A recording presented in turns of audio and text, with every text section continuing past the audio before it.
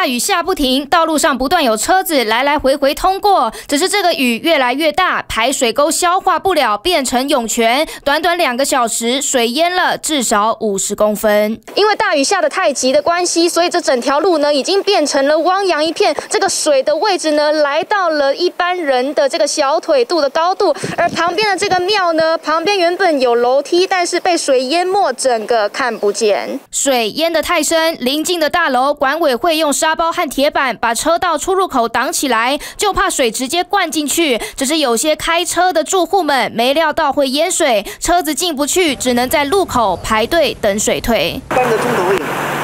这样子可以吗？会不会有点太久了？今天没上班时候还算还好，如果上班的话，觉得很烦。这里是我们的那个车道了。啊，那这样怎么办？嗯，没办法，它年年淹水，我们。有什么办法？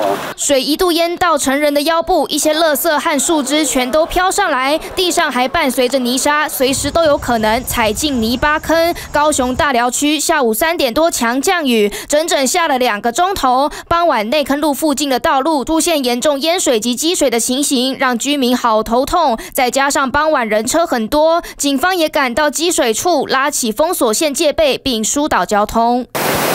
突如其来的淹大水把大楼唯一的车道出入口堵住，居民回不了家，只好徒步涉水通过。还好雨没再继续下，水退了，开车的居民终于能回家好好吃个饭。TVBS 新闻庄胜雄纪元 SNG 小组高雄报道，请订阅、按赞、分享 TVBS 新闻频道，并开启小铃铛，也请下载 TVBS 新闻 APP，随时掌握国内外大事。